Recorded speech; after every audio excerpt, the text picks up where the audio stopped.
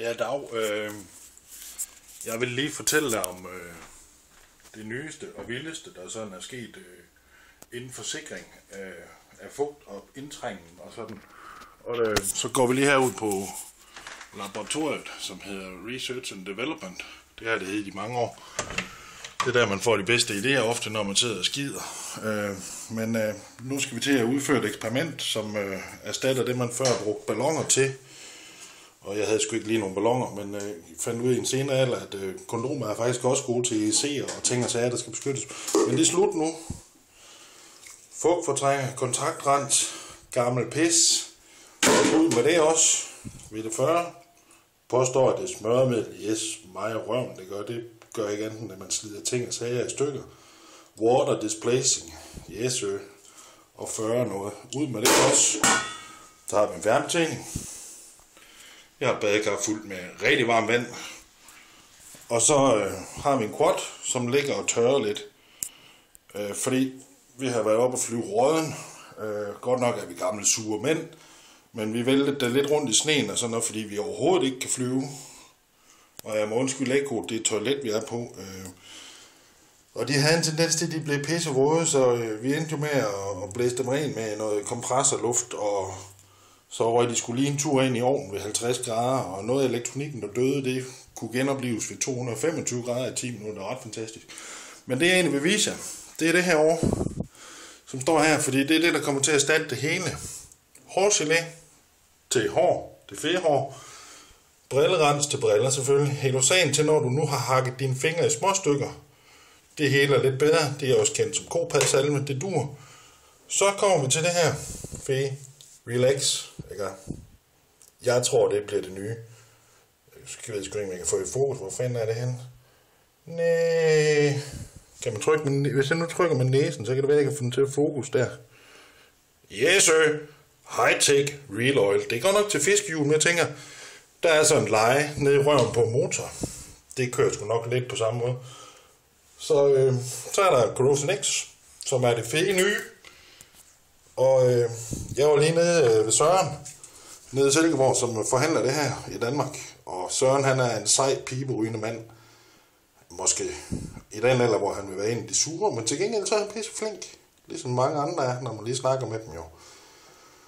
Og det her, det tror jeg simpelthen, det tror jeg på. Det er det vilde. Nu skal jeg se, om jeg kan fokusere det, fordi det er da et awesome produkt, hvis man... Kom så, fokus. Hvis man næse på igen her.